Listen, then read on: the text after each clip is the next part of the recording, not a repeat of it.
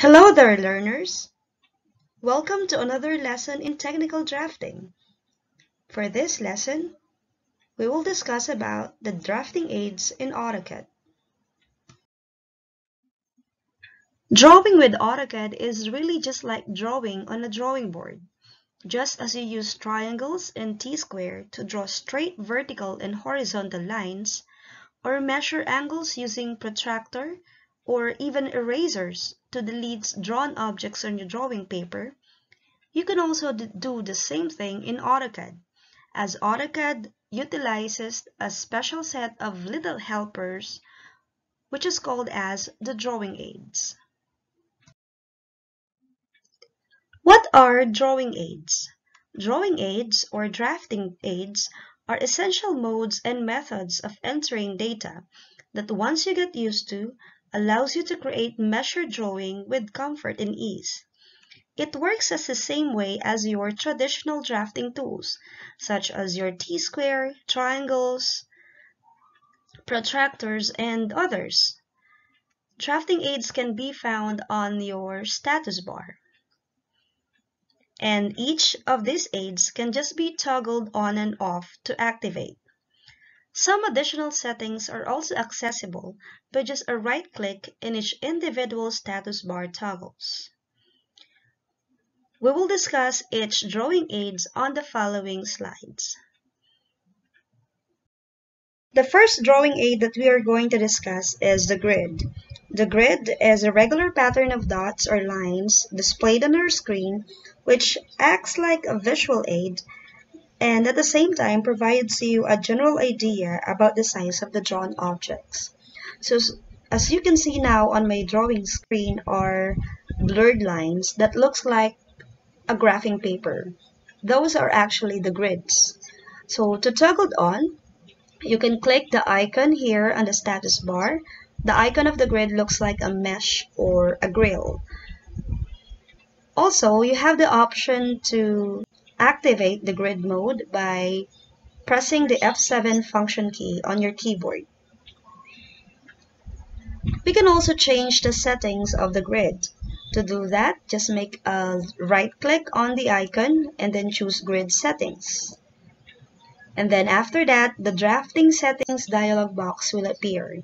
Here, you have the option to change the appearance of the grid from lines to dots and as well as the spacing between those that lies on the x-axis and y-axis. For example, here we, on the grid style, we want to change the current appearance of our grids from lines to dots. So just click on the 2D model space. And then here on the grid spacing, we can also change the spacing between the lines along the x-axis and as well as on the y-axis. So from 5, let's change it, for example, to 10. So depending on your preference, you can always change the settings here on the drafting settings dialog box. So once you're done, just click OK. So you will notice now that from blurred lines or from lines, the grid, the appearance of your grid changed to dots. And at the same time, the spacing in between change which is now much wider compared to earlier.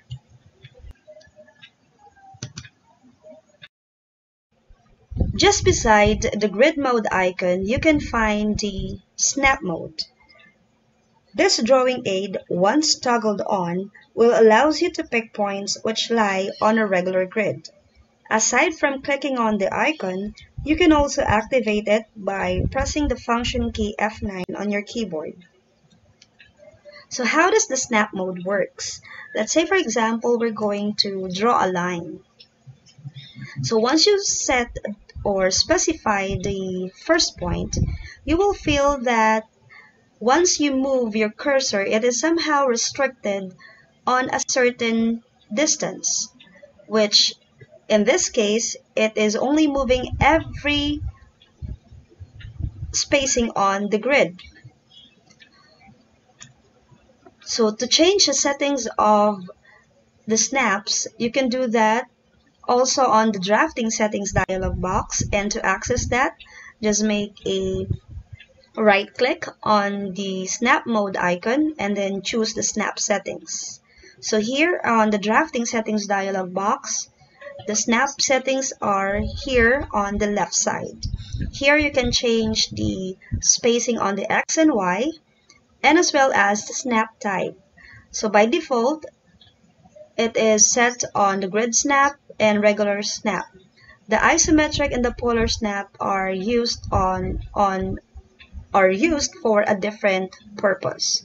So here so earlier when we tried to draw a line our cursor is restricted from moving every 10 units or the spacing is 10 units. If we will try to change it, let's say for example, we're going to make it 5, then press OK, and then if you will try to draw a line again, you will notice that once you specify the first point, your the movement of your cursor is half of the movement earlier because we already changed the snap settings to or the snap spacing to 5. Considered as the simplest among all the drawing aids in AutoCAD is the ortho mode. The word ortho is a short name for orthogonal, which means either vertical or horizontal. You can access or activate the ortho mode function here on the status bar by clicking on its icon and you will notice that its icon looks like a right angle or you can just press the F8 function key on your keyboard to toggle it on.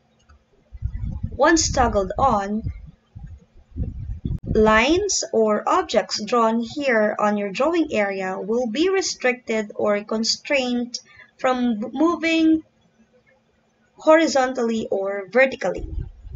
So to demonstrate, let's draw a line after specifying the first point and if you will try to move your cursor, you will notice that your line is only going vertically or horizontally. But once you toggled off the ortho mode function, you can move your line in any direction or you can move your cursor freely here on your drawing area. So whenever you are doing or drawing vertical lines or straight lines, it is recommended that you turn on or toggled on the ortho mode function.